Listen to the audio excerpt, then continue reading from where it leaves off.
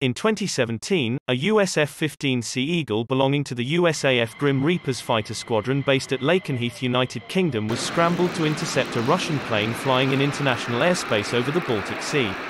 Frequent interceptions on Russian aircraft were carried out by NATO in this area as part of the Baltic Air Policing mission. The F-15 flew aside an unknown Russian aircraft when all of a sudden a Russian Su-27 flanker rushed in from the right in between the two aircraft and aggressively banked left towards the F-15 while continuing the dangerous maneuver until the flanker blended into the sky while the F-15 left the scene.